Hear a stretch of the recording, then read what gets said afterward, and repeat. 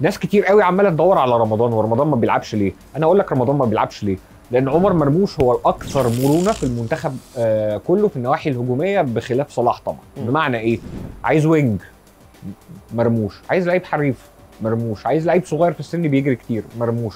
عايز لعيب بيتحول لمهاجم يعني بيلعب 4 4 2 حتى لو لسه مش مطلع. قماش آه ما أنا عشان هو بس من يعني يعني رمضان صبحي يعرف يلعب مهاجم جنب صلاح؟ صعب. هو wing wing wing.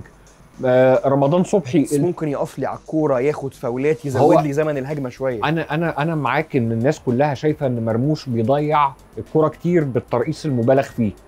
الفكرة بس إن ليه مرموش بيلعب. لأنه الأكثر رشاقة وعنده حرفنة وزي رمضان وبالتالي هو الميزة بتاعته عن رمضان إن عنده مرونة تكتيكية كمان بيقدر يهاجم وعنده سن صغير لسه آه، وفي نفس الوقت عنده التزام دفاعي أكتر من رمضان.